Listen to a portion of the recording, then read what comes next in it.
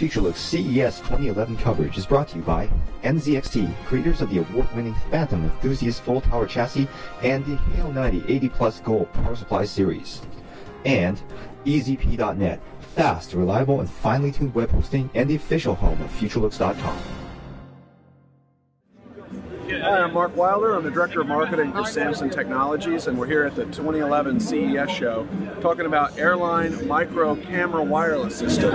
This is a wireless system that was designed especially for the camera market, video, and also DSLR cameras. And what we've done is we've created an extremely small, as you can see, uh, wireless belt pack and lavalier system. There's the lav. And we've integrated with a camera uh, receiver with a hot shoe mount. So this little receiver fits on all your cameras with a hot shoe, and we give you all the cables in our package so that you can run either XLR or eighth inch uh, into your camera and get great wireless audio.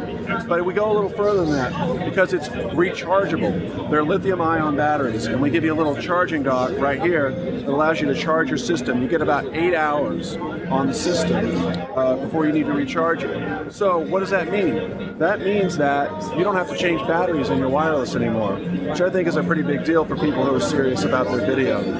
Another fact is is that because you have lithium ion, you can constantly have a couple of different components bought separately with the system that allow you to constantly be charging. So if you're going to be doing a long shoot and you need more than eight hours of time, all you got to do is get an extra transmitter or an extra receiver, keep them charged all the time, and you're good to go. We give you a nice little case with this too.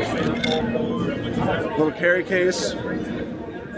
All the components fit in here, and then on this side, you get all your cables and your charging cables as well. And of course, the best part of all is the price. It's $2.99 and it's going to be available in April.